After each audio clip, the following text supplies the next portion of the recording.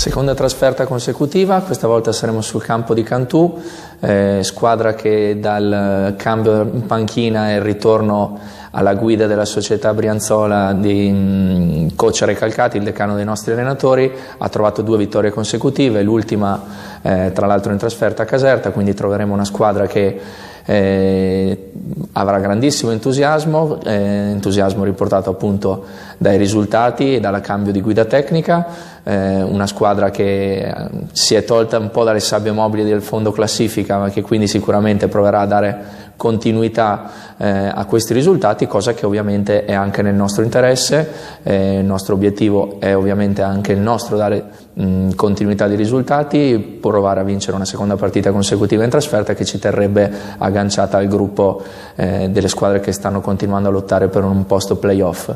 Ehm, pericoli numero uno, eh, senza ombra di dubbio, Joan John Johnson che arriva da due partite importanti, l'ultima ricordiamoci ha segnato 35 punti e l'ex di giornata David Cornu che nelle ultime due partite ha prodotto una media di 20 punti, quindi eh, un grandissimo momento di forma. Sono una squadra dal grandissimo talento offensivo, eh, non dimentichiamoci il playmaker Daudel, la, la, la piccola Darden, l'esterno Fran Pilepic